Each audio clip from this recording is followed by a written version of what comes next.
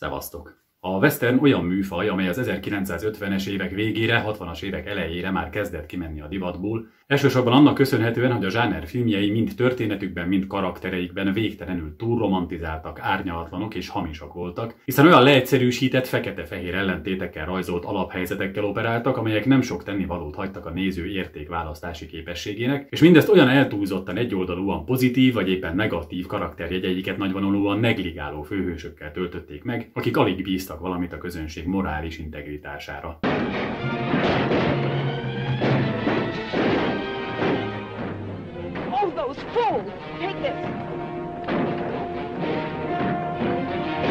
Ezen az egyre kisebb vonzerővel bíró sablonon csavart egyet a 60-as évek derekán a zsáner legizgalmasabb alfajának vezéralakja, Sergio Leone, aki a Dollár trilógiájával és a Volt egyszer egy vadnyugattal egyértelműen magasra helyezte az egyébként inkább lesajnált spagetti western minőségi küszöbét. Tudod te milyenek azok a, azok a Tigo western filmek? Ha?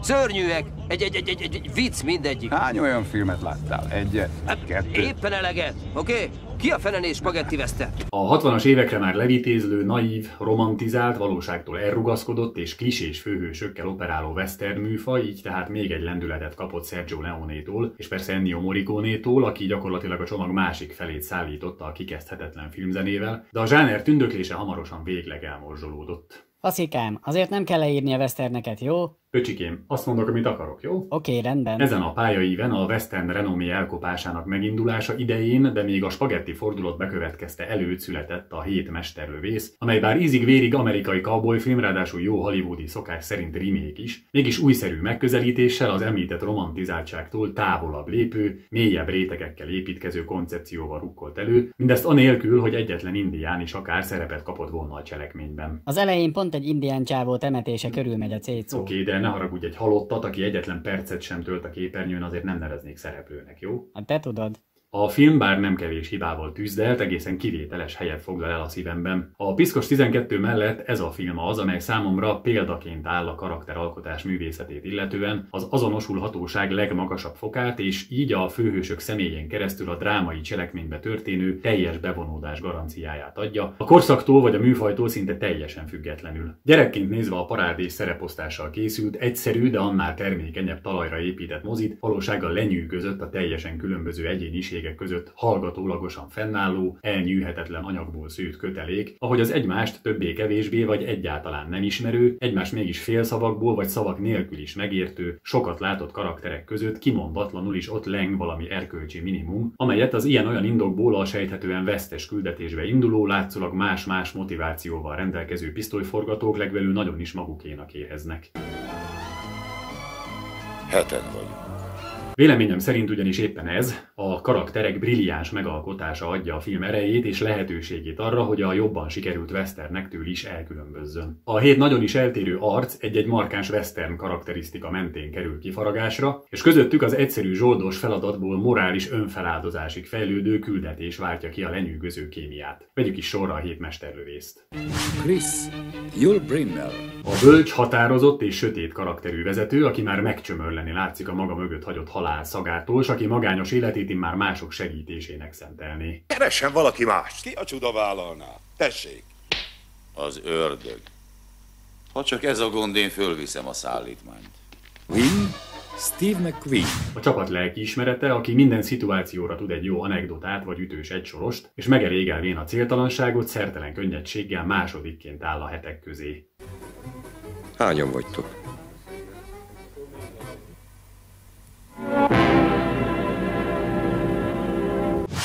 Brit James Coburn. A szótlan cowboy a kések szakértője, aki már méltó ellenfele nem lévén jobbára önmagával harcol, és előbb elutasítja, majd a talán vele összemérhető ellen reményében végül vállalja a küldetést. Meggondoltam magam. Lee Robert Vaughn. Titokzatos és elegáns fegyveres, akinek idegei már felmondták a szolgálatot, és többé nem tud zsoldos életmódjának megfelelő reflexekkel és hidegvérrel működni, ezért az arra rászorulóknak segítségére sietve remél méltó halált halni. Ne féljünk. Ez a jelszavam. Naponta ezerszer elmondom magamnak. O'Reilly Charles Bronson, kemény harcos, aki egy olyan világban, ahol már csak favágásra kérik fel, immár nagyon értékeli a szerény 20 dolláros fizetséget is, ám végül mélyérzésű emberi oldala mutatkozik meg leginkább a falusiakkal és elsősorban azok gyerekeivel szövődő barátsága mentén. A hősiességet nem a fegyver elsütésében, hanem az áldozatos és kemény munkát végző, gyermekeiket önmaguk elé helyező közemberek életében látja, amely felelősségvállalásra ő soha nem lenne képes.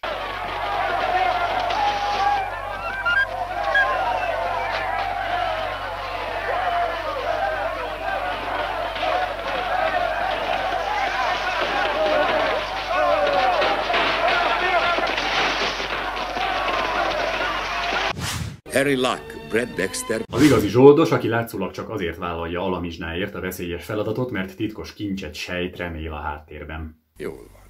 Ez hát a felszín. De mi van a mélyben? Csak amit mondtam. Olaj? Arany? Csordák? Csak amit mondtam. Jó, jó, hagyjuk. Majd megmondod, ha lehet. Chico, Horst Buchholz, És végül a forrófejű fiatal kalboly, aki fittyet hány a veszélyre és a pénzre is, személy előtt csak az lebeg, hogy elnyerje a nagy példaképek megbecsülését, és mindent elkövet, hogy elismerjék közéjük tartozónak.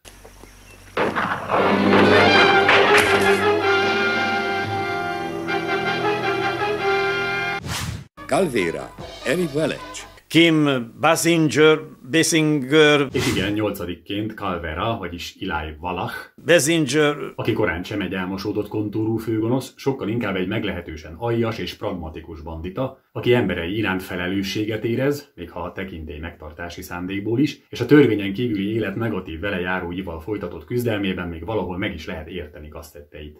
Mit szólnál, ha az én helyemben lennél?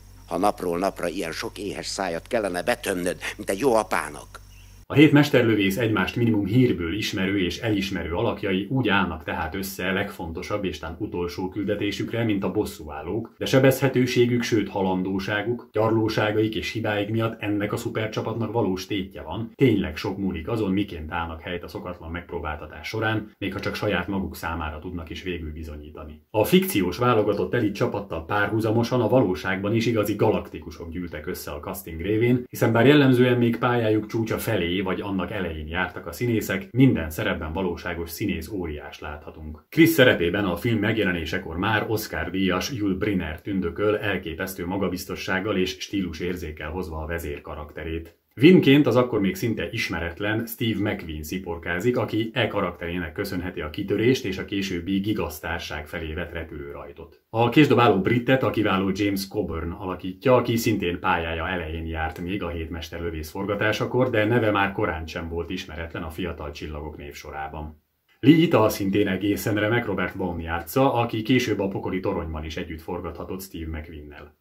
Bernardo szerepét pedig, mintha csak a pályája elején és ereje teljében lévő Charles Bronzorra öntötték volna, meg is hozta a világhírt és a várva várt áttörést a litván származású színésznek, a későbbi bosszú vágy sztárjának. De a többi szerepben is kivételesen erős kvalitásokkal rendelkező színészeket láthatunk, elég csak a rabló vezér Calverát megformáló legendás Eli Valachra gondolnunk. Basinger, Na, És a döbbenetesen jól sikerült szereposztás és karakterépítés mellé egy olyan elsőprő erejű filmzenét kapunk, hogy még Ennio Morricone is megemelné a kalapját. Minden idők egyik legjelentősebb filmes komponálásának tartják mai napig Elmer Bernstein művét, amely az egyébként is erős alapfelállást megint adhatatlanul aládúcolta. No, de lássuk akkor a filmet.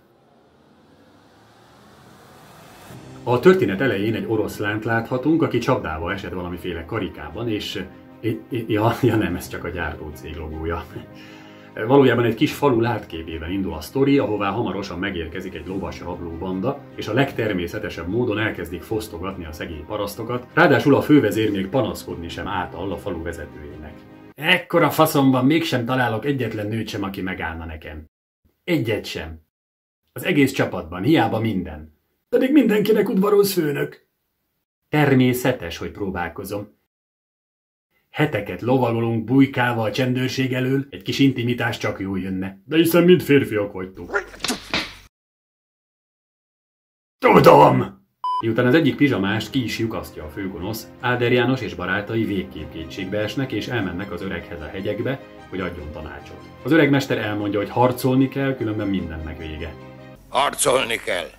Vin, hülye buzeráns! A három kismalac el is indul a városba puskákat venni, és bele is futnak a legmenőbb menőségbe, amit csak a főszereplők bemutatására ki lehet találni. Chris vállalkozik egy rasszista okból megtagadott holttestet felszállítani a temetőbe, és mellé csapódik Vin is, a mindig vidám cowboy. Mindkét arcon látszik, hogy kemények, mint a szikla. Nézzük csak meg a srác, mindenem meg tudja gyújtani a gyufát. A talpán, a kocsin, én meg még a dobozon is legalább hármat eltörök, meg elreszelek, mire valami szikrát ki tudok csiholni. Fent a temetőnél aztán Chris részletesen feltárja a nézeteltérés természetének különböző aspektusait. Mi a hiba?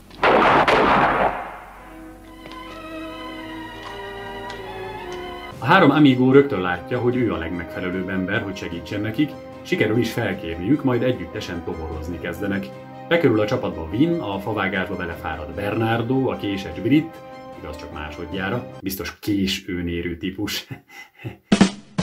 De közéjük áll Harry a pénzes és Lee a divatos, és a végén még a korábban viharos tapsot érő produkcióban leszereplő Csikó is felvételt nyer a hetek közé, és megérkeznek a faluba, ahol óriási ovációval ünneplik a szabadítók eljövetelét. Hova tűntek ezek? Hol vannak, Thomas? Luis! Asunción! Demetrio! Emilio! Luz Maria, Isaura, Rosalinda, Cachorra, Másnap aztán tényleg orbitális ünnep veszi kezdetét, felép Sipos F. Tamás és tűzijátékot is bevetnek, nem is olyan szegény falu ez, még parabola antenna is van, aztán hárman rajta ütnek Calvera kémjein. Ejts egy foglyot. Igen.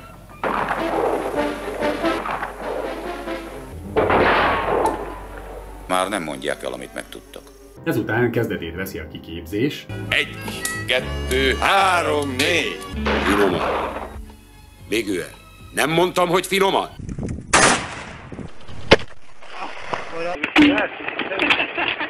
És összeismerkednek a falucsiakkal is. Ravasz róka ez a Calvera, ugye? Egy szörét hullató rossz vidéki róka. A mesterlövészek legfiatalabb bika útyozni megy a patakhoz, mikor összefut egy leányjal és kulturáltan megbeszélik a nézeteltéréseiket. Oh, wow! Aztán tovább folyik az árokásás, hálózatépítés és dínomdánom, végül az öregnek is beszámolnak a fejleményekről. Eddig még jó. Aztán végre valahára megérkezik Calvera, hogy szemtől szemben találhassa magát a frissen felfogadott testőrséggel. Pattanásig nő a feszültség, a készülődő falusiakat és a közelgő rablókat látva, mester ilyen megteremtett izzó atmoszféra, ahogy a két vezér végre egymás szemébe néz. Aztán egy kis bájcseve után a feszülő húr elpattan, és megkezdődik az első ütközet, amelyben Lee egy igen speciális harcmodort vet be. Calveráik elmenekülnek, a jó fiúk meg rögtön betintáznak jó magyar szokás szerint. Bernardo összespanol a gyerekekkel, Vina falusiakkal, Csikó meg a leányjal, de a stressztől a csapat kezd széthullani, mint az ellenzéki összefogás, és a falusiak elárulják a mesterlövészeket. Kapnak egy kis fejmosást az öreg Calverától, aki aztán elengedi, sőt elzavarja őket, természetesen miután levetette velük a fegyvereket. De a falu határban aztán visszakapják a puskákat és pisztolyokat, egy kis mirhával, meg zsájával, és betlehemezésbe kezdenek. Parasztok! Parasztok! Egyedül Harry érzi úgy, hogy őrültség visszamenni az áruló falusiakat menteni, a többiek mind visszatérnek és kezdetét veszi a végső ütközet. A hatalmas túlerővel szemben itt bizony nem ússzák meg sérülés nélkül a főhősök sem, Harry is a legrosszabb ütemben gondolja meg magát és tér vissza, mert azonnal kap is egy sorozatot a hátába. Végül még Lee is ráveszi magát egy kis hősködésre, de ő is csak addig örülhet, még megdurrantják, s más márolja is le a vályok falat. A parasztok kapára kaszára kelnek, elszabadul a pokol, válogatott módszerekkel gyilkolják egymást a felek, Chris megpörköli Calverát, de sajnos Brit is megmurdel, és Bernardónak is elődik a memóriáját. Mi az én nevem? Bernardo. Szokás szerint mindenki meghal, a többiek megsebesülnek, úgyhogy Chris összeszedi, ami mozdítható, aztán a három életben maradt legény ellovagol a faluból, kivéve végül Csikót, akit vár a leány, így inkább marad a faluban kukoricát dörzsölni. A végén a hárátlan kis korcsok egyedül Bernardo sírjára visznek virágot, a két főhős meg belevész a semmibe. Nos, ahogy említettem, a film számos hibától terhelt, amelyek mellett minden elfogultságom ellenére sem szeretnék szótlanul elsétálni. Egyik legnagyobb úgyutaságának és ütemtelen, sőt felesleges epizódjának tartom a kis kitérőt, amelyet Chico az ellenséges táborban tesz, egyfajta besúranó kémként. Eleve gyenge ötlet, hogy egy 40 fős, évek óta együtt portyázó rabló banda ne ismerné fel, ha idegen súran közéjük, Ráadásul a jelenet éppen arról szól, hogy név szerint sorolják fel és gyászolják meg halottaikat a banditák, így tehát kiváltképp nevetséges, hogy egy szombréró kifinomult álcája mögé bújva Csikó észrevétlen maradhatna. Néhány ritmusbeli kilengést is érezni az egyébként igen jól feszített, izgalmaktól hemzsegő sztoriban. Számomra ilyen az első rajtaütés után távolból lövöldöző ellenség visszatámadása, amely aztán a háttérben a képen kívül intéződik el, mintha a rendező sem igazán tudta volna, hogy mit akar ezzel az egésszel. Amilyen brilliáns és kimunkált a karakterek felépítése, olyan szerencsétlen sokszor a haláluk megjelenítése. A fatális sérülések nincsenek kellő hangsúlyjal láttatva, ami persze még rendezői koncepció is lehetne, jelezvén, hogy egy tűzharcban bármikor bárkivel megtörténhet a végzetes malőr, anélkül, hogy a filmekben egyébként megszokott nagy záró jelenetét le tudná játszani.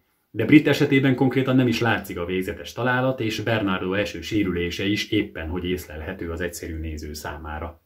Na, de ennyit a hibákról, nézzük inkább a film kiválóságait. A már alaposan megdicsért karakterépítésen túl a film hatalmas erőssége véleményem szerint a hét mesterlövész csak nem mindegyikét átjáró melankóliába hajló, keserny és komorság, az a kimondatlanul is a hét férfit sorstársát évő belső vívódás, amelyet a látszólag gondtalan, vagány és szabad életképe mögött a kilátástalanság, a valódi értékektől való eltávolodás fölött érez csak nem mindegyikük. A hosszú, sokszor magányos évek alatt és igen kemény élethelyzetekben gyűjtött tapasztalatok megfontoltá, szinte bölcsé teszik a hét férfit, az említett melankóliát, a szabad és öntörvényű életvitel iránt már alább hagyott lelkesedést, frappáns és tűpontos megjegyzésekkel adják környezetük tudtára. Hidegvérű egyensúlyukból sem az életveszély, sem bármi hirtelen felindulás nem tudja őket kibillenteni. A figurák kiválóan megírt személyiségét a lenyűgöző párbeszédek engedik kifejezésre juttatni, amely dialógusok egyszerűek és mentesek a szofisztikáltságtól, de mélyen szántóak, kesernyések és végtelenül hitelesnek tűnnek. A csapat arszpolitikáját talán a faluban zajló egyik beszélgetés foglalja össze legjobban. Egy idő után keresztnevükön szólítjuk a kocsmárosokat, vagy 200 embert,